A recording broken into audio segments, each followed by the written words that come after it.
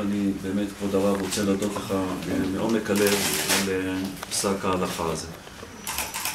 אני גם מודה מאוד לעורך דין שרגא ליעד וכל חבריו בתנועה לאיכות השלטון על ההזדמנות שהם עוררו אותי לעניין.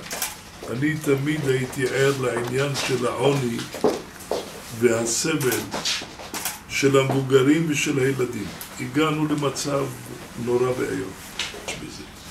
ואם נותנים כסף של ביטוח או בנק או כל דרך כדי לשמור פנסיה והולכים מסכנים את זה, לפעמים גם בעסקים פרטיים וכדומה, זה בוודאי איסור גמור ואחריות במלואה מוטלת על אותו אדם ואין מקום להתחמק מזה.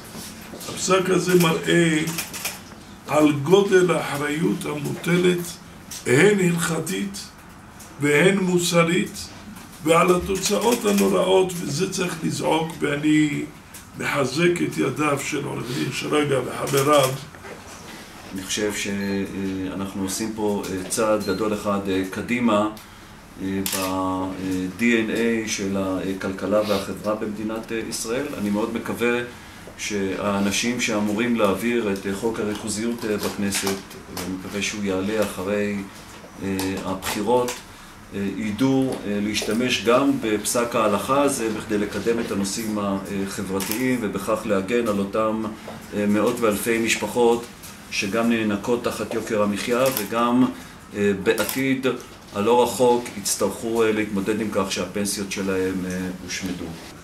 ואני מקווה שזה יהיה מקור להתעוררות אצל כל מי שאכפת לו מדעת התורה וההלכה לראות את הדברים נכוחה ולפעול בהתאם לזה בעזרת השם.